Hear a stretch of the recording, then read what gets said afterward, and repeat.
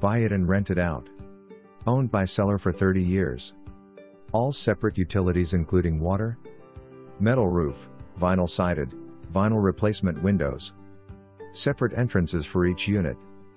Laundry for each unit in basement.